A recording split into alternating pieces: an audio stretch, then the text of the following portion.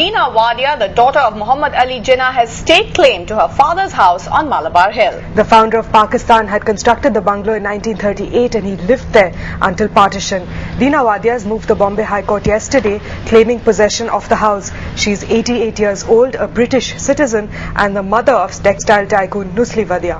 She has also filed an RTI application seeking the details of the plans for the house.